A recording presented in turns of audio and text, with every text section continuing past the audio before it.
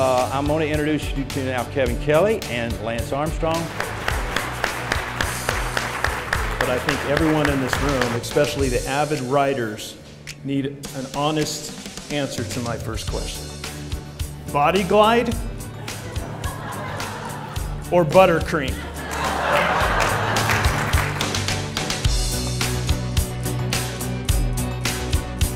The system can't support what we, the people, are putting on it, whether it's, uh, I mean, it could be a cancer issue, it could be a, a, a heart issue, it could be uh, uh, obesity, it could be diabetes. I mean, it could be, you know, we're, we're stressing the system so much, the system can't keep up. And so uh, without foundations and organizations and people like the people that are in this room saying, okay, we're going to try to close the gap here between, you know, what, what we know we're going to face and what we're trying to keep up with, uh, we're in trouble.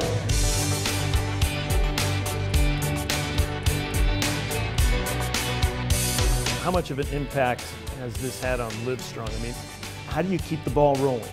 One of the first and certainly the most painful call that came was when the board had decided that I needed to initially step down as the chairman of the organization.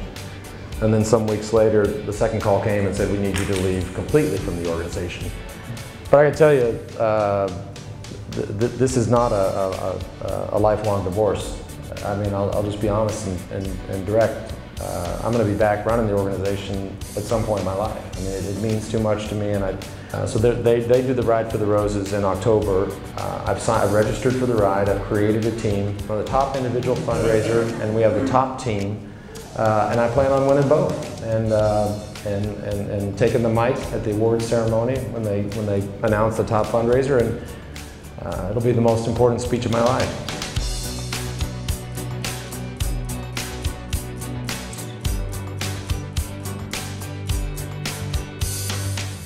We have a lot of hills here in the natural state.